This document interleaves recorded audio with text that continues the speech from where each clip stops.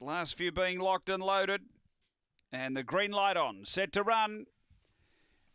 Ready to race. Away they go. There's speed coming from Mrs. Missile. Aston Carlos booting up. It's really charging over. It's going to find the lead. Aston Carlos runs to the top. Mrs. Missile second as they swing to the back. They were followed by Love and Rain and three away Sydney Cove. Then indeed it was back toward the uh, tail end.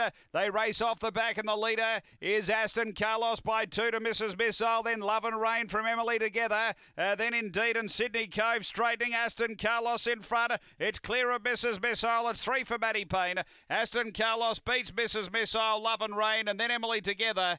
Uh, next, Indeed, and Sydney Cove. Time here is around 30 and 60. Race 11, 30 69 the run. And uh, numbers are 5, 4, 1, and fourth home, number 2. Aston Carlos, Matthew Payne with a race to race to race treble. Number 5, 4 Mrs. Missile, second for Derek Anderson.